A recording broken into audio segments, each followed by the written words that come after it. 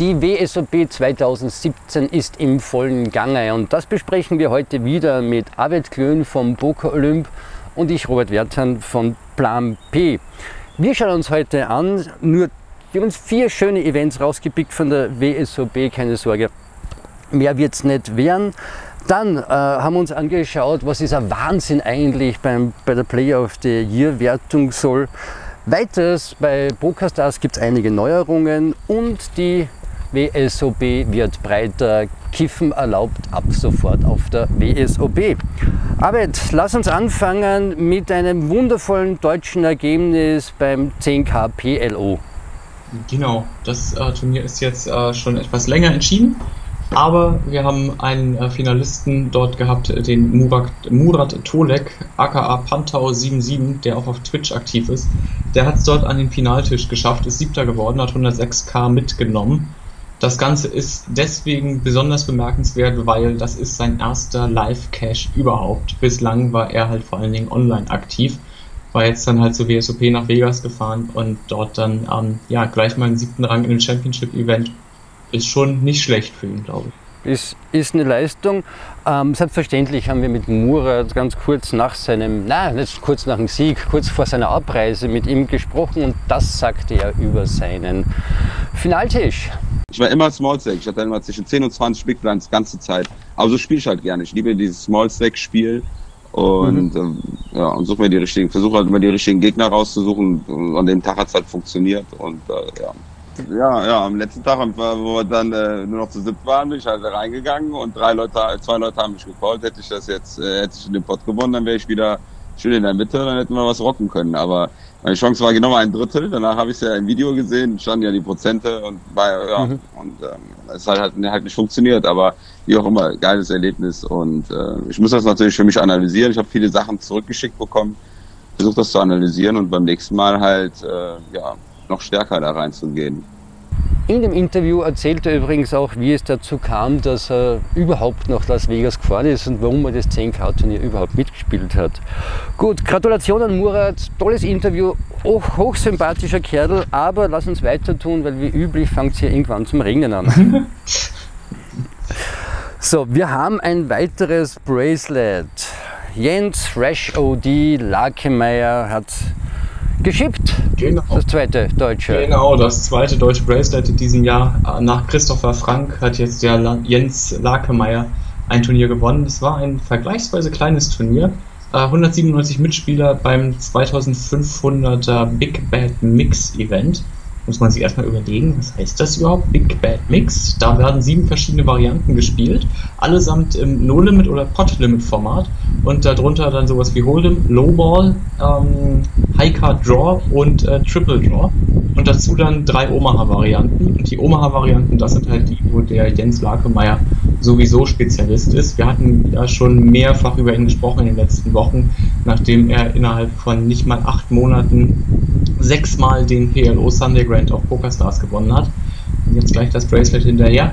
Äh, super Sache, er hat 112k mitgenommen in dem Event. Ist sein, sein erstes Bracelet. Nicht sein größtes, nicht sein größter Cash, aber trotzdem eine super Sache für ihn. Und wir haben in den Top 10 noch einen weiteren Spieler, den Ismail Boyang, der ist Neunter geworden in dem Turnier. Selbstverständlich haben wir auch hier den Fresh OD gefragt wegen einem Interview, aber es ist einfach nicht sein Ding, das mag er so überhaupt nicht. Aber ich habe Easy Boy Young gefragt, wie er denn das Spiel von Jens miterlebt hat. Fresh hat in einem Pot Limit 5K Draw Pot ziemlich viel Glück gehabt, hat glaube ich einen 4 Outer getroffen in einem 3-Way All-In und das hat ihm dann zum Sieg verholfen. Aber ob er den Tisch jetzt wirklich demoliert hat, ansonsten weiß ich nicht. Also ich saß nicht mehr. Aber das ist halt beim Big Bad Mix, da fliegen die Leute schnell raus. Also das war vorher schon so und das liegt, glaube ich, eher am Spiel. Also ich glaube, es gibt kein Turnier, wo der Average Stack so groß war wie in diesem Turnier, einfach weil die Leute immer so schnell rausgeflogen sind. Von Anfang. Äh, auch hier das ganze Interview mit Easy seht ihr auf Plan B ab Samstag oder Sonntag. Das ist dann die Überraschung. Äh, Gratulation an Fresh auf jeden Fall, absolut cooles Ding. So, dann kommen wir zu einem Turnier, das sich nennt Crazy Eight. Äh, wir sind schon bei Turnier 60. Ich kann mich an Zeiten erinnern, wo bei Turnier 60 das Turnier schon seit, seit vier Turnieren ausgewiesen wäre. Ja, aber wenn wir jetzt halt mit über 70 Turnieren in Las Vegas dabei sind und dann nochmal äh, ein knappes Dutzend in Europa haben, ja, WSOP ist sehr, sehr groß geworden. Und Turnier, Turnier, Turnier Nummer 60, es ist noch lange nicht Schluss. So, Breaking News. Und zwar, es gibt ein weiteres Bracelet für Deutschland. Und zwar hat sich Sebastian Langrock im Event 64 im 1,5K No Limit Hold'em und Pot Limit Omaha 8 Hand Mixed durchgesetzt. Er hat 268.000 Dollar mitgenommen. Gratulation, Sebastian. Und noch ein Ergebnis haben wir in Event 60 im 888 Crazy 8 No Limit Hold'em ist Kilian Kramer Zweiter geworden hinter dem Rumänen Alexandru Papazian. Nichtsdestominder 464k gibt es für den zweiten Platz, für den Sieg 888k. Ähm, erklärt vielleicht ein bisschen, warum dieses Turnier Crazy Aids heißt. Das ist das 888 Sponsor Turnier, was halt komplett auf den äh, WSOP Hauptsponsor, nämlich 888 ausgerichtet ist. Ähm, also jede Zahl, die im Turnier vorkommt, das Buy-in, das, die Garantie für den Sieger, hat alles irgendwie mit der Zahl 8 zu tun. Und das Turnier ist äh, abgegangen wie Schmidts Katze. Das war schon letztes Jahr ein sehr, sehr erfolgreiches Turnier. Es kostet halt 888 Dollar, ist so ein Re-Entry Turbo No Limit Hold'em Turnier. Und letztes Jahr waren es 6800 Spieler, die ungefähr dabei waren. Dieses Jahr 8120. Also das läuft richtig gut. Nachdem wir letzte Woche darüber gesprochen hatten, dass die Zahlen bei der WSOP in sehr, sehr vielen Turnieren rückläufig sind, dieses Turnier war davon nicht betroffen. So, und jetzt kommen wir zu etwas, eigentlich ist es die, meiner Meinung nach die echte Weltmeisterschaft, nämlich das 50k 8 Game. Mit Sicherheit der, aus dem Turnier geht der beste Pokerspieler des Jahres heraus. Oder ist das zu viel gesagt? Nein, ja, natürlich ist es zu viel gesagt, weil es gehört immer noch Glück dazu. Aber äh, wenn es ein Turnier ist, dann ist es dieses Turnier. Weil ähm, 8-Game, du musst extrem viele Varianten richtig gut beherrschen können. Das äh, Turnier ist auf fünf Tage ausgelegt. Das heißt, man hat wirklich sehr, sehr viel Zeit, dort mit seinen Chips was zu machen. Man fängt auch mit unglaublich vielen Chips an. Und äh, 50.000 Dollar ist halt echt mal kein Pappenstiel, den man da hinlegen muss, um überhaupt mitspielen zu können. Letztes Jahr waren es ich glaube 90 Mitspieler, dieses Jahr waren es 100. Äh, es ist ein bisschen hochgegangen. Ähm, ist die zwölfte Ausgabe dieses Turniers. Gespielt wird so um 4,8 Millionen Dollar. Ist halt eine relativ große Hausnummer. Und ja, wenn man sich einfach die Namen der Finalisten anguckt, dann stellt man schon fest, okay, die Leute, die es dort in die Preisgeldränge geschafft haben und die Leute, die ganz vorne mitspielen, das sind auch genau die Spieler, die sich, nein, die, die zumindest Millionen Hände Erfahrung haben in diesen Mixed Game Varianten. Das sind größtenteils Online-Spieler, die äh, dort seit zehn Jahren ungefähr alle Spiele online mitspielen auf den höchsten Limits und entsprechend gut sind. Und ja, so, so sieht es dann eben auch aus. Wir wissen jetzt leider das Ergebnis nicht ganz genau. Wieder, wir zeichnen etwas zu früh auf, aber wir haben zumindest einen unglaublich interessanten Namen da drin, nämlich Ivo Donev, den Österreicher, den wir seit über einem Jahr nicht mehr an den Pokertischen gesehen haben. Auf einmal taucht er dort auf und spielt dieses unglaublich teure Turnier mit und hat es sogar in die Preisgeldränge geschafft. Ähm, stimmt nicht ganz, dass er nicht an den Pokertischen aufgetaucht ist. Ich habe mir angesehen, seinen Händenmob-Eintrag, was er denn für Turniere oder bei welchen Turnieren in letzter Zeit gecasht hat. Und Tatsache ist es, dass Ivo Donev äh, im Zeitraum von September 2016 bis Juni 2017 kein Turnier gespielt hat, wo ein höheres bei ihm, oder kein Turnier gecasht hat, wo ein höheres bei ihm von 440 Euro war. Okay. Das ist ein bisschen absurd, dass äh, Ivo Donev, der 100 Euro Turniere im Casino Bregenz spielt, dann plötzlich bei den 50k Turnier in Las Vegas auftaucht. Ähm, es hat geheißen, wer hat es, Paul Preis hat es glaube ich in seinem Vlog gesagt, dass äh, Ivo Donev als Trainer für, für äh, wie heißt der, der Casino-Besitzer? Ich verdränge den Namen tatsächlich. Genau. Äh, der das Trainer mitgefahren ist und deshalb das 50k-Turnier mitspielt. Nichtsdestotrotz grandiose Leistung für Ivo Donev. Er ist immer zwischen den Top 3 und Top 5, was ich jetzt äh, beobachtet habe. Es ist aber noch ein zweiter Deutscher, ein völlig unbekannter, nämlich der Johannes Becker, nämlich auch noch mit dabei. Der hat ungefähr das gleiche Schicksal wie Ivo Donev, scheint mir. Nämlich, auch da habe ich mir den Handenmob, äh, Handenmob angesehen, der hat drei Einträge drinnen, davon ein 12. Rang bei einem 30-Euro-Turnier im Montesino. Dafür war der neunten Platz bei der WSOB in Berlin 2015. Ja, ja der, der Johannes Becker ist, ähm, ja, der Name ist natürlich nicht so ganz bekannt, allerdings handelt es sich hierbei um einen relativ erfolgreichen Online-Spieler. Eben auch, dass das sind genau die Spieler, die dieses Turnier anzieht. Und ja, der, der kann sich das Buy-in dort leisten und hat sich auch seine Meriten online bereits verdient. Wahrscheinlich. Äh, kennen wir seinen Online-Namen? Ich habe eine sehr starke Vermutung, ja. Nun gut, dann lassen wir es. Wir, wir spekulieren hier nicht. Lieber Arbeit, ähm, es gibt auch Favoriten für das Main Event. Ja, gibt es auch, ähm, klar, wobei beim Main Event die Sache nicht so ganz klar ist, äh, weil halt doch ein bisschen mehr Spieler teilnehmen. Letztes Jahr hatten wir 6700, wenn ich mich jetzt nicht ganz irre, so um den Dreh rum. Dieses Jahr dürfte die Zahl in einer ähnlichen Größenordnung liegen. Da ist es natürlich sehr schwierig, von Favoriten zu sprechen. Nichtsdestominder kann man bei der Seite pokershares.com Anteile von Spielern kaufen. Das sind fiktive Anteile, aber ja, man kann halt Anteile kaufen. Ebenso kann man direkt auf Spieler wetten. Und die Jungs von pokershares.com haben dort als Favoriten auserkoren Phil Ivy, obwohl gar nicht ganz klar ist, ob er wirklich mitspielen wird. Daniel Negreanu ist Favorit, Conor Dreenan gehört zu den Favoriten und natürlich Fedor Holz. Wenn man auf die ähm, Wetten abschließt, dann kriegt man eine Quote von 1 zu 400 auf, äh, auf den Sieg. Ist jetzt keine sonderlich gute Quote, also würde ich jetzt nicht unbedingt empfehlen, da Wetten drauf abzuschließen. Ähm, zeigt aber, dass, dass diesen Spielern doch relativ viel zugetraut wird. Bezüglich ähm, der Anteile, wenn man die kauft, dann kriegt man die mit einem Markup von ungefähr 4,5. Das bedeutet, wenn man 1% von denen kauft, das würde, wenn man es ganz fair erwerben würde, 100 Dollar kosten. In dem Fall kostet es dann 450 Dollar. Ähm, ja, aber so, sollte einer von denen das Turnier dann gewinnen tatsächlich, dann kriegt man auch eben 1% äh, von der äh, Siegprämie ab, was dann für den ersten Platz bei ungefähr 8 Millionen Dollar schon 80.000 Dollar wären. Also könnte sich auch durchaus lohnen. Das Main Event wird übertragen von ESPN 2. Das heißt, man kann das Ganze, wenn man ein ESPN-Abo hat, dort direkt gucken. Wenn man das nicht hat, kann man es auf PokerGo schauen. Soweit ich das bislang richtig verstanden habe, wird PokerGo zumindest die späteren Teile eines jeden Tages komplett übertragen, möglicherweise alle. PokerGo kostet, haben wir bereits besprochen, 10 Euro pro Monat.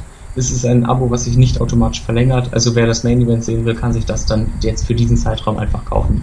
Kosten 10er ist, ist halt noch relativ übersichtlich, auch wenn wir, ich zumindest genug über PokerGo gemeckert habe in letzter Zeit, weil einfach die wichtigsten Turniere, wie zum Beispiel eben das Poker Players Championship, nicht übertragen wird. Äh, Main Event ist jetzt halt so, wie es aussieht, dabei. Ja, also wenn, wenn, wenn Fedor Holz tatsächlich das Main Event auch noch gewinnen sollte, dann, dann wäre er, glaube ich, unsterblich, oder? Ja, wir dürfen nicht vergessen, dass Fedor Holz schon mal sehr, sehr weit gekommen ist und bis in den siebten Tag des Main Events äh, gelangt ist. Also äh, es ist bei Fedor Holz sehr, sehr schwer, Sachen zu finden in seiner Karriere, die er am Pokertisch noch nicht geschafft hat. Ja. Gut, somit sind wir auch unserer selbst auferlegten Fedor Holz Nennungspflicht nachgekommen. So, kommen wir zum, zur Geisteskrankheit Player of the Year Wertung. Das ist, ja, das ist ja was vollkommen Schwachsinniges, wie es aussieht, oder? Wir haben dort einen, einen Chris Ferguson, der allseits beliebte Chris Ferguson, ziemlich weit vorne mit ausschließlich Min-Caches. Erklär uns nochmal bitte, Arvid, warum ist die Player of the Year Wertung so, so, so komisch und so wenig aussagekräftig wie kaum zuvor? Player of the Year Wertung wird halt dieses Jahr mit einer neuen Formel berechnet.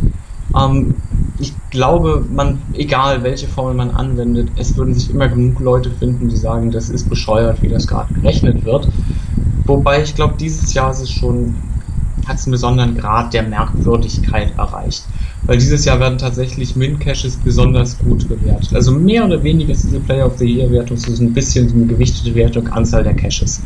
Ähm, das heißt, ein Spieler, der einfach unglaublich häufig gerade so in die Geldränge rutscht bei Turnieren, der äh, hat eine sehr, sehr, eine sehr, sehr gute Chance darauf, in der Player of the Year Wertung ganz weit oben zu stehen.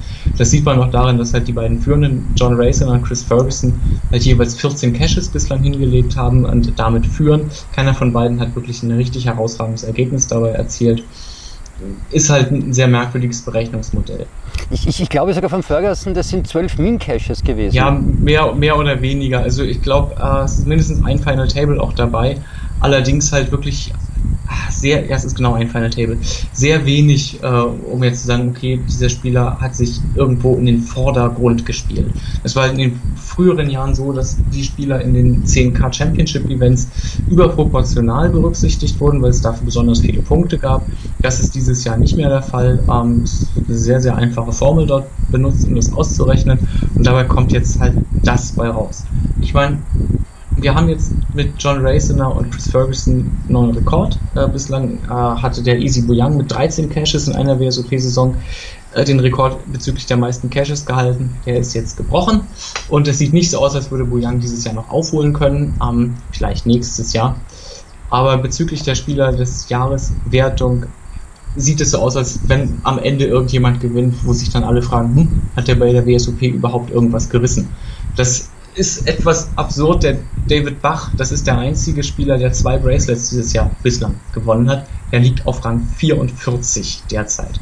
Also ja, da ist glaub, steht in keiner Relation. Kann man, kann man glaube ich sagen, so, so richtig aussagekräftig ist diese Wertung dieses Jahr nicht. In dieser Liste mit den besten Caches ist nämlich Manik Löser mit neun Caches in dieser Saison auf Platz 16 in guter Gesellschaft mit David Baker und Daniel Negriano. So, kommen wir zu Online-Poker. Viel Neues gibt es bei PokerStars. Na, so viel ist es jetzt nicht zugegeben, aber es gibt Neues von PokerStars. Genau. Äh, wir hatten schon vor geraumer Zeit über das neue Stars Rewards Programm gesprochen. Das Ganze heißt äh, Schatzkisten und geht am 6. Juli live. Das heißt, wenn diese Sendung ausgestrahlt wird, dann kann man auf PokerStars Schatzkisten gewinnen. Erstens, der gesamte alte VIP-Club von PokerStars mit Supernova, Supernova Elite, etc., der ist jetzt endgültig passé. Das Ganze gibt es nicht mehr. Man bekommt jetzt pro Dollar Rake, den man erspielt, 100 sogenannte Reward Points. Und ähm, mit diesen Reward Points kann man Kisten erwerben, also Schatzkisten. Wie viel diese Schatzkisten kosten, ähm, das äh, ist von Spieler zu Spieler unterschiedlich und es ist nicht so ganz transparent, was eigentlich welcher Spieler für die Kisten bezahlt. Das hängt davon ab, wie viel er eingezahlt hat, ob er Netto-Gewinner, Netto-Verlierer ist ähm, und welche Spielaktivität er in den letzten Tagen und Wochen äh, an den Tag gelegt hat. Ähm, aber im Schnitt die günstigste Kiste kostet ungefähr 150 Punkte. Das heißt, für 1,50 Dollar kriegt man, Rake kriegt man dann mal gleich so eine Schatzkiste von PokerStars geschenkt.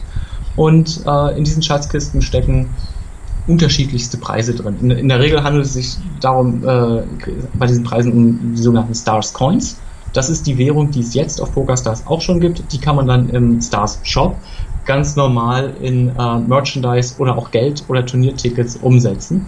Ähm, in den Kisten sind aber auch teilweise andere Sachen, wie dann wiederum Turniertickets oder äh, weitere Reward Points für mehr Kisten, äh, die man da drin finden kann. Im Grunde läuft es aber darauf hinaus, dass irgendwie hat das halt einen finanziellen Gegenwert, was man in so einer Kiste findet und dieser finanzielle Gegenwert ist nicht sonderlich hoch. Ich habe eine Frage, ist es nicht ein bisschen schwachsinnig, wenn man umgekehrt jetzt Partypoker anschaut, die 40% Rakeback machen und wirklich den Spielern was zurückgeben, so ein Schächtelchen mit Gimmicks drinnen? Also kann man damit wirklich noch Spieler begeistern oder ist das sinnvoll grundsätzlich oder ist das völlig sinnlos? Ja, also das... Ähm es ist schwierig, das wirklich zu beantworten, weil wenn du das aus der Perspektive eines reinen Grinders betrachtest, dann ist dieses System, was PokerStars hat, schwachsinnig weil es ist intransparent, es ist kompliziert, es ist schwer nachzuvollziehen, was da passiert ähm, und das Ganze ist halt auch noch mit einer riesigen Varianz, weil einfach es ist zufällig, was aus diesen Kisten rauskommt. Vielleicht noch ganz kurz dazu. Wenn du die vier Kisten an einem Tag verdient hast, dann kommst du ins nächste Level und kriegst die nächste größere Kiste. Jetzt möchte man denken, hey, größere Kiste, cool, da ist bestimmt auch mehr drin. Das stimmt, da ist auch mehr drin, aber da ist proportional für die Punkte, die man dafür erspielen muss, weniger drin. Das äh, ist halt auch so, so eine merkwürdige Sache, weil bisher war es bei Vielspielerprogrammen so, dass viel Spielen besonders belohnt wird. Jetzt ist es bei PokerStars so, dass halt viel Spielen eher weniger belohnt wird. So, und jetzt nochmal, was du gesagt hast mit dem Schwachsinn. Äh, es gibt durchaus Stimmen und ich glaube, da gibt es Berechtigung für diese Stimmen, die sagen, dass was Partypoker macht, ist der Schwachsinn. Die nehmen nämlich einfach ein System, was gezeigt hat auf PokerStars, dass es nicht funktioniert, nämlich dieses äh, flache Rateback, äh, was sehr, sehr hoch ist für Grinder und versuchen das jetzt noch einmal. Weil du hast gewisse, das hat, bringt gewisse Konsequenzen mit sich, wenn du es deinen Grindern so einfach machst und ihnen so viel Geld gibst. Nämlich du wirst einfach da Spieler heranzüchten, die sich an die Tische setzen und mit einer Plus-Minus-Null Winrate spielen und dann einfach von dem Rakeback leben. Die einfach nur darauf aus sind, wie viele Tische, was ist das Maximum an Tischen, was sie spielen können, ohne dass sie Verlust machen, so dass sie ihr Rakeback maximieren, weil darüber kommen dann tatsächlich ihre Einnahmen am Ende. Und das sind nicht unbedingt die Spieler, die man zumindest in Massen an den Tischen haben will. Und PokerStars hat jetzt alles dran gesetzt, diese Spieler von ihrer Seite irgendwie zu vertreiben, weil sie rausgefunden haben oder gelernt haben, okay, an diesen Spielern verdienen wir nicht genug, als dass es sich lohnt, damit unsere Gelegenheitsspieler zu vergraulen. Und das Programm, was sie jetzt haben, ist halt eins, was voll und ganz auf den Freizeitspieler ausgerichtet ist. Also, ja, das ist das, was jetzt bei PokerStars passiert. Inwieweit das Schwachsinn ist, das weiß ich nicht, weil ökonomisch gesehen für PokerStars ist es im Moment gar nicht so verkehrt. Und es ist nicht so, dass ihnen jetzt die Freizeitspieler deswegen den Schaden weglaufen. Es ist so, dass jetzt äh, die Grinder sagen, okay, gehen wir zu Partypoker. Allerdings, wenn Partypoker nicht gleichzeitig irgendetwas tut, um eben auch Freizeitspieler und Nettoeinzahler anzuziehen und äh, auf, de, auf der Seite zu halten, dann haben die Grinder am Ende auch nichts davon, wenn sie einfach an komplett versauerten Tischen sitzen und äh, nichts von ihrem Rakeback haben, weil sie einfach die Spiele nicht mal mehr plus minus null schlagen können, weil sie einfach nur noch unter sich sind. Um den stagnierenden Online-Markt ein wenig aufzufangen, hat es aber eine Marktzusammenlegung gegeben. Genau. Es ist äh, so, dass wir in Europa teil, teilreguliert sind. Also Frankreich, Italien, Spanien und Portugal sind jeweils regulierte Länder, in denen die Spieler unter sich auf völlig äh, regulierten Seiten spielen. Deswegen haben die gesagt, okay, schmeißen wir uns doch zusammen. Diese vier regulierten Länder, wir machen jetzt einen Markt, äh, tun dort alle Spieler rein und haben dann quasi einen großen südwesteuropäischen Markt. Äh, sieht so aus, als würden wir dann auf den drittgrößten Markt nach Asien und dem internationalen Markt gucken. Äh, Poker Scout weist für diese Länder insgesamt so Spielerzahlen von ungefähr im Schnitt 4200 äh, Cash Game Spielern aus, die im Schnitt gleichzeitig aktiv sind. Spitzenzahlen von ungefähr 9000. Äh, ist jetzt im Vergleich zum internationalen Markt mit Spitzenzahlen von 37.000 gleichzeitig aktiven Cash-Game-Spielern immer noch kleiner, aber eben deutlich größer als die einzelnen Länder selbst. Also das äh, kann man relativ gespannt verfolgen. Gleichzeitig haben sich Länder wie Großbritannien und Dänemark schon interessiert gezeigt, dass sie da eigentlich äh, dran teilhaben wollen und äh, in diesen Markt gegebenenfalls hinein wollen. Dann würde dieser Markt natürlich noch größer werden. Auch Deutschland war bei diesen ersten Regulierungsverhandlungen mit dabei. Und ja, ich meine, wir mit dem Glücksspielstaatsvertrag sind ja sowieso nicht wirklich weitergekommen mit unserer eigenen Regulierung. Das heißt, es könnte tatsächlich sein, dass in nicht allzu ferner Zeit wir irgendwann ein etwas abgeschotteten, komplett regulierten europäischen Markt haben. Kommen wir zu etwas, zu etwas breiteren Thema. Kiffen auf der WSOP ist erlaubt ab sofort oder gibt es da doch Einschränkungen, auf die man aufpassen sollte? Wenn ich das richtig verstanden habe, darfst du in Nevada kiffen, nicht jedoch äh, in den Örtlichkeiten des Rio Casinos, weil das hat dort eben immer noch Hausrecht und sagt, nee, bei uns wird nicht, keine, werden keine Drogen genommen und wird auch nicht gekifft. Also da sollte man sich jetzt nicht einfach auf den Standpunkt setzen, ist doch legal und sich dann einfach äh, am Tisch einen Joint anmachen. Das ist, glaube ich, nicht die beste Idee, weil es dann dazu führen kann, dass man von der WSOP direkt ausgeschlossen wird. Wobei, wobei wirklich sagen muss, dass das äh, Kiffen auf der WSOP im Prinzip so Augenauswischerei ist. Es wurde immer schon geraucht, selbst vorne in dem großen Raucherbereich. Es gibt hinten, wenn man hinten bei, dieser, äh, bei den Toiletten rausgeht, da gibt's, wo die Zulieferer von der WSOP hin, also von Rios hinkommen, da gibt es einen sehr, sehr großen Hof und das ist der Kifferhof und dort kommen keine Securities vorbei. Es hat noch nie jemand was gesagt. Ich finde es okay, ich bin für eine Legalisierung. Du hast dazu wenig Meinung, oder? Ich bin, ich bin absolut für eine Legalisierung, ohne Frage. Ich bin aber auch dafür, dass das äh, am Tisch selbst nicht unbedingt geraucht oder gekifft wird. Also ich war selbst lange Jahre professioneller Raucher. Ähm, allerdings am Pokertisch ist das wirklich schon eine ziemlich unangenehme Sache, wenn man sich dem dann nicht äh, entziehen kann.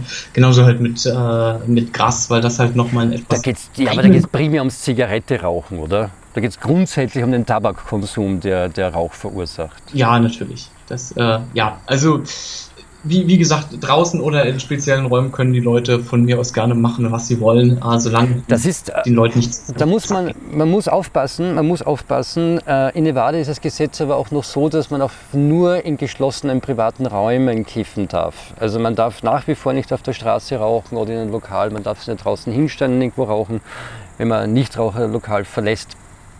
Also es ist nur in privaten Räumen gestartet und Personen über 21 Jahren und einiges mehr. Ich gratuliere euch zur neuen Seite. Ja, Äh, Boko Olymp hat, die Kollegen von Boko Olymp haben eine neue Seite kreiert. Moderne Aufmachung, mir gefällt es gut.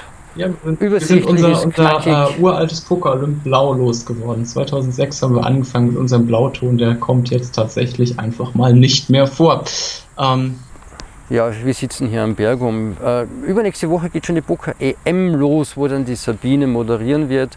Aber nicht für Plan B, sondern das ist dann für Casino TV. Freue ich mich schon drauf. Wir werden dort einige Interviews auch holen. Äh, ja, sehr schön. ich danke fürs Zuschauen. Okay, macht's gut.